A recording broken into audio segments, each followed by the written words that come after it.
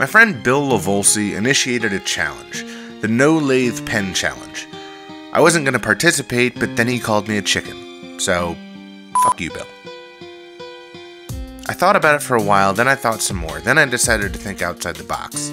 This is what I came up with.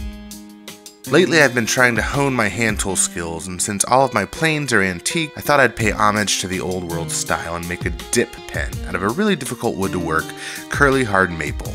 A true test of my plane setup skills. I started by working on the nib, the pokey bit that strokes characters to the page.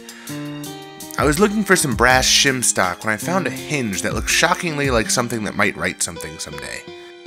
So I cut one of the points off and took a torch to it. Then I started beating it into a shape that resembled a pen. I took it to the grinder to refine its shape. Now, most nibs have a kerf down the center of the point to hold ink in reserve. I don't have any tools that will cut that thin of a slot, so I omitted the cut and just opted to reload the tip with ink more often. Next, it was time to work on the body of the pen I cut a piece of curly hard maple into a square blank about yay long. Then I found the center and drew out a circle for reference.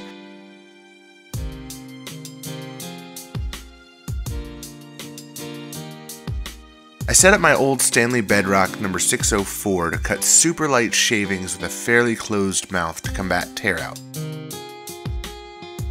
Then I started roughing out a cylinder.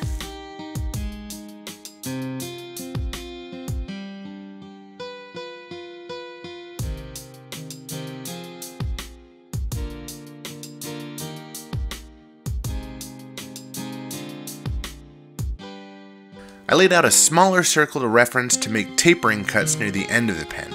I would have showed you how I accomplished the taper had I bothered to reframe the shot. You'll have to use your imagination. Sorry.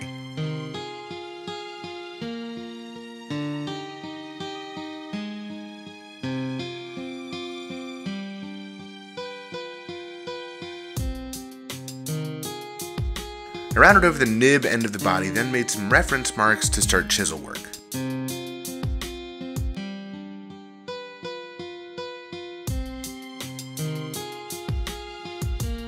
Like I mentioned earlier, curly hard maple is really hard to work due to its undulating grain, so keeping my chisels sharp was imperative as inconvenient as it was.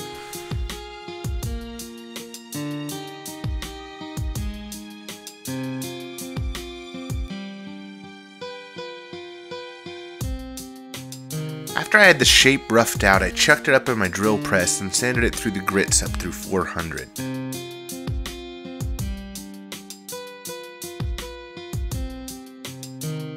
I drilled a hole for the nib and I just learned this trick from Trustin Timber.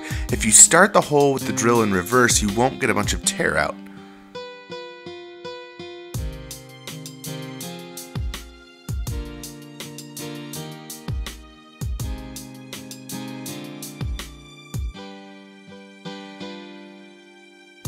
Then I rubbed some homemade finish on the pen. I use this for bowl turning. It's just a mixture of mineral oil and beeswax. This was a really great exercise, taking a tool out of the equation to see if you can still accomplish the goal. Although I think I'd rather do this on a lathe, I think it turned out pretty cool. And I was sure to get ink all over the pen before filming the pretty shots. Thanks for watching, guys.